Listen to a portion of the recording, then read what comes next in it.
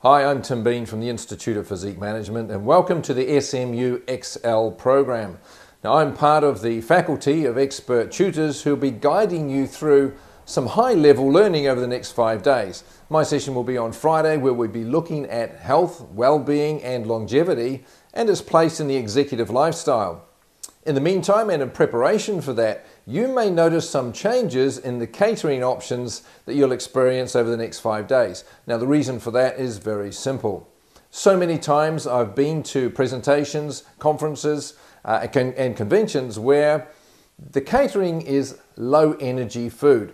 Now this isn't congruent with high energy and high engagement learning programs. So over the next five days, you will notice that the catering options have been specifically designed to improve your energy, your engagement, your retention, your mental speed, your sharpness, and your drive.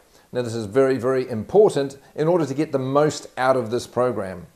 So that's a little heads up on what you'll notice coming through in the next five days. I look forward to seeing you on the last day, Friday. I'm Tim Bean from the Institute of Physique Management in conjunction with the Singapore Management University. Thanks for watching.